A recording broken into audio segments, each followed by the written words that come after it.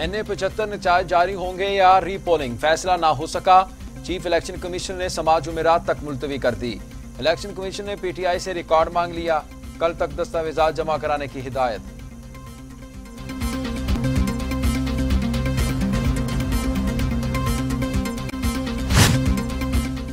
High court के election tribunal ने Noon league रहनुमा परवेज रशीद को सैनेट इलेक्शन के लिए नाअहल करार दे दिया। इलेक्शन कमीशन ने परवेज रशीद के सैनेट इंतबात के लिए कागजात नामजदगी मुस्तरद कर दिए। नून लीगी रहनुमा ने इलेक्शन कमीशन का इकदाम हाई कोर्ट में चैलेंज किया था।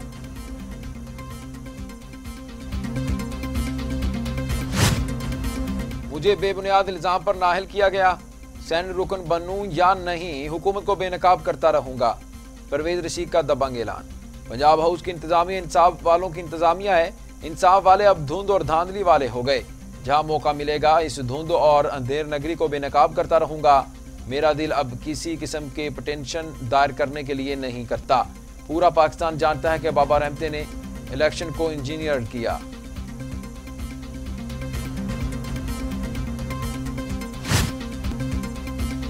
विफाकी वज़ीर फैसल वाडा सैनेट इलेक्शन के लिए अहल करार फैसल वाडा के खिलाफ पीपल्स पार्टी के कादिर खान मंदोखेल की अपील मुस्तरद। इलेक्शन ट्राइब्यूनल ने इलेक्शन कमीशन का फैसला बरकरार रखा। अपीलों पर इलेक्शन ट्राइब्यूनल में समाज के दौरान मीडिया को कवरेज से रोक दिया गया।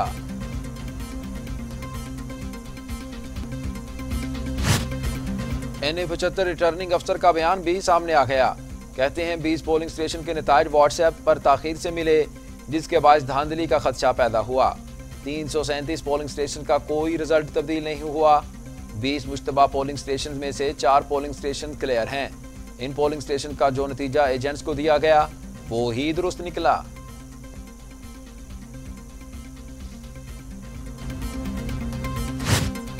शाहिद खाकान अबासी कहते हैं, हुकूमत खुद इलेक्शन चोरी करने में मुलवस है। डस्का में रीपोलिंग की बात नहीं, हुकूमत धौंस जमा रही है। हुक्मरानों से पार्लिमान मेम्बरान समेत हर कोई तंग है। आज पार्लिमान मफलूज हो चुकी है। यहाँ अदल का निज़ाम भी मज़ाक बन चुका है। एहतसाब का इदारा करप्शन में मुलवस है।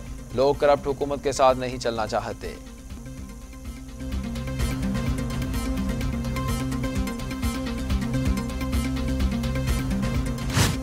नून लीग के रहनुमा राना सनाउल्ला कहते हैं कि हमारा मुतालबा है कि पूरे हल्के एन पचहत्तर में री पोलिंग कराई जाए। पीटीआई वालों ने जिमनी इंतखाब के रोज सारा दिन खौफ हिरास फैलाया। पूरा मामला हम इलेक्शन कमीशन ऑफ़ पाकिस्तान के सामने लाए हैं।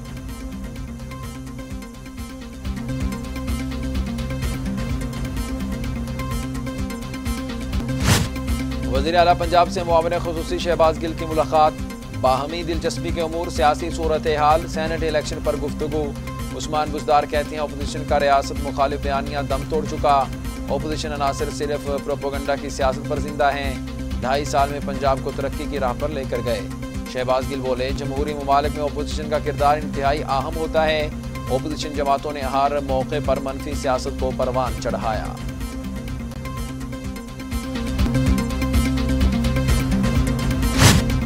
वज़ीर आज़म इमरान खान दो रोज़ा दौरे पर श्रीलंका रवाना। विफाक वजरा भी हमरा हैं। वजी अजम श्रीलंकन हम मनसब से मुलाकात करेंगे। वन अन वन मुलाकात के बाद वफूद की सतह पर भी मुजाकर होंगे। श्रीलंकन हम मनसब कल इमरान खान के एजाज में इशाइया देंगे। सदर से भी मुलाकात होगी।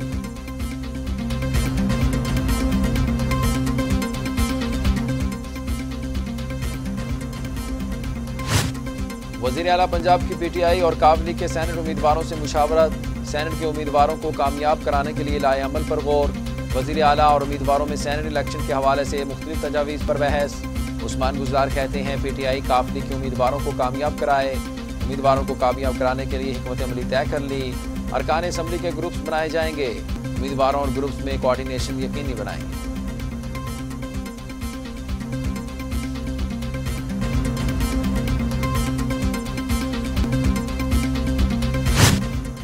कोरोना के खिलाफ तमाम तर कोशिशें तदाबीर बेसूद हो गई। वायरस 24 घंटों में मजीद इकतालीस इंसानी जिंदगियाँ निकल गया। अमवात बारह हज़ार छः सौ अठावन हो गई। मजीद एक हज़ार पचास अफराद में वायरस की तशखीस, पाँच लाख तिहत्तर हज़ार तीन सौ चौरासी अफराद कोरोना में मुबतला, पाँच लाख छत्तीस हज़ार दो सौ तैंतालीस अफराद सेहत याब, चौबीस हज़ार चार सौ तिरासी मरीज़ जेर इलाज।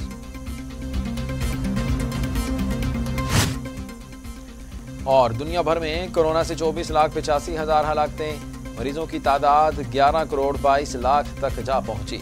अमेरिका में पाँच लाख बारह हज़ार, ब्राज़ील में दो लाख सैंतालीस हज़ार, भारत में एक लाख सतावन हज़ार, मैक्सिको में एक लाख अस्सी हज़ार, रूस में तिरासी हज़ार छह सौ तीस, फ्रांस में चौरासी हज़ार छह सौ तेरह, बरतानिया में एक लाख बीस हज़ार सात सौ सतावन और सऊदी अरब में छह हज़ार चार सौ छियासठ अमवात